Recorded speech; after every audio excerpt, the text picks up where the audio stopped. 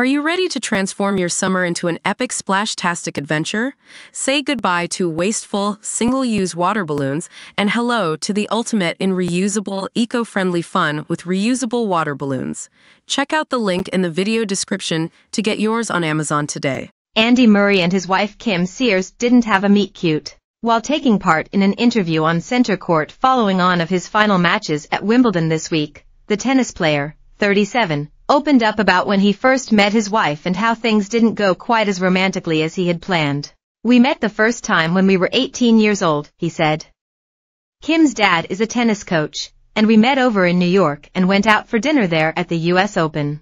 Noting that he choked a little bit the first time we went out, Murray continued, we walked her home to her hotel and I asked her for her email address.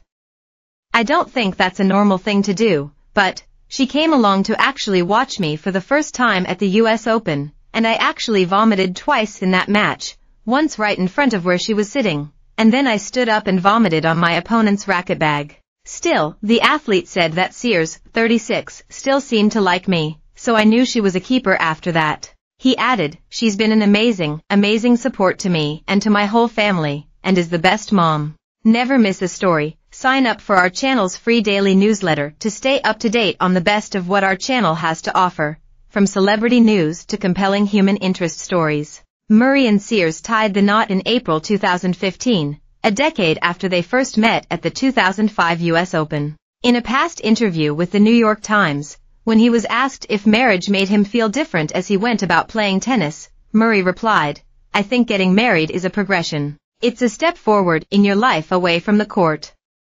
But I still need to work hard, I still need to put the work in, the two-time Wimbledon champion continued.